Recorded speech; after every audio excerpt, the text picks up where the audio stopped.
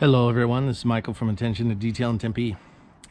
So I just cleaned the rim and wanted to do a little shout out to SICC Products Car Wash Services for their new tire dressing Amplify 1 tire.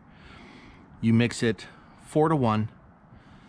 I'm going to put a couple coats on, let it sit, absorb in, wipe it off. Put a, I'm going to put three layers on. They had a posting on their Facebook and it just came out amazing. So, 4 to 1 amplifier tire, SiO2 tire um, dressing. And uh, we'll be back with the final results.